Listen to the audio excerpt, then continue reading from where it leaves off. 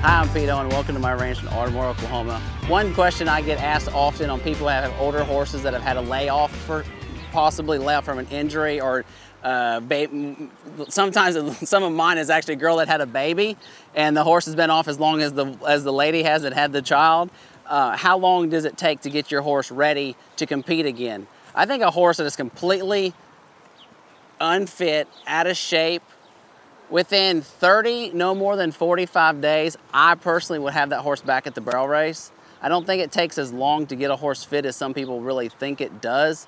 Uh, I those horses, but those horses get ridden probably starting off about 20 minutes a day and that ends up to being about a half hour a day.